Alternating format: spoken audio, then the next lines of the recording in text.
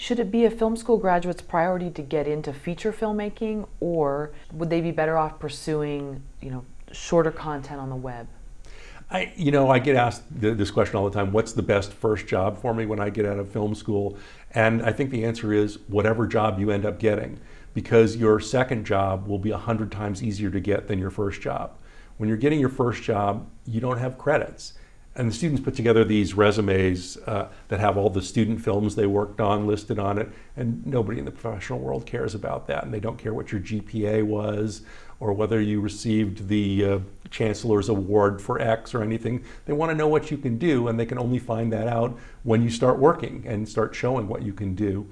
Um, you know, look, if you're determined to work in feature films, you'll, you'll get there eventually. Uh, I think there are many advantages to not working in feature films depending on what your um, chosen job path is. Let's say you want to be a cinematographer.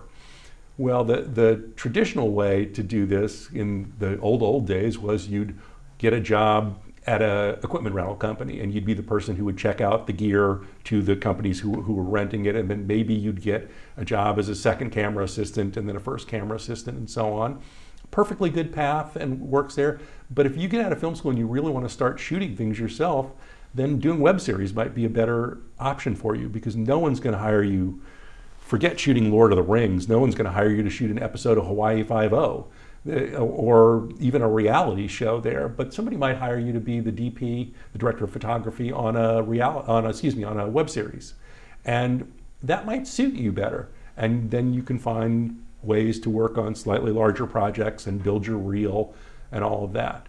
Uh, there's just lots of ways to get to the end point in the business. I also think it's important to not just get locked in on, no, I, on, I only want to do this. I've had people say to me, um, I want to be a director, so I'm not going to take a job as an assistant director because then I'll get typecast as an assistant director.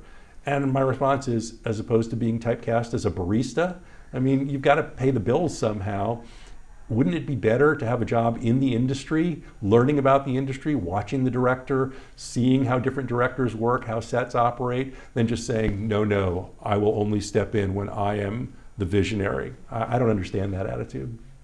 Right. Well, how much of an eye opener is that when you have actually talked to a student about that? I mean, are you able to change their minds? I would say three quarters of the time I can change their minds. Um, we had a student, uh, this is an interesting example from a couple years ago. Uh, she her goal was to be uh, in the sports broadcasting part of the business, and she was about to graduate, and she'd been offered a job at the NFL Network, and she was waffling about whether to take this job. I said, what on earth could be preventing you from saying this is the opportunity of a lifetime? She said, Well, it's in LA and I don't really like LA. I'd rather be in San Diego. And they're, they're only paying $17 an hour. And I just said to the student, you're out of your mind if you don't take this job. You want to work in San Diego? You're going to have a much better chance getting a job in San Diego when you've got the NFL network on your credit list.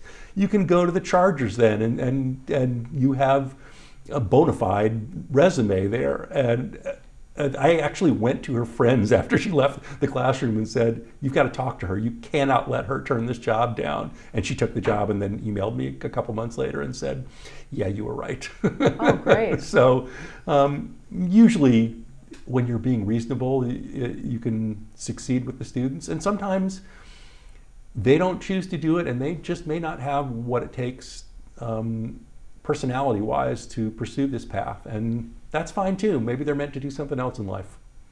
Well, that's interesting because what is your advice to graduating film students, not just creatively, but also in a commonsensical way or, or emotionally, or, or, I mean, because I think we all have these grand expectations about getting out there in the real world. And I think it's interesting when you said, tell that one 18 year old that can't go to college, how about getting a job?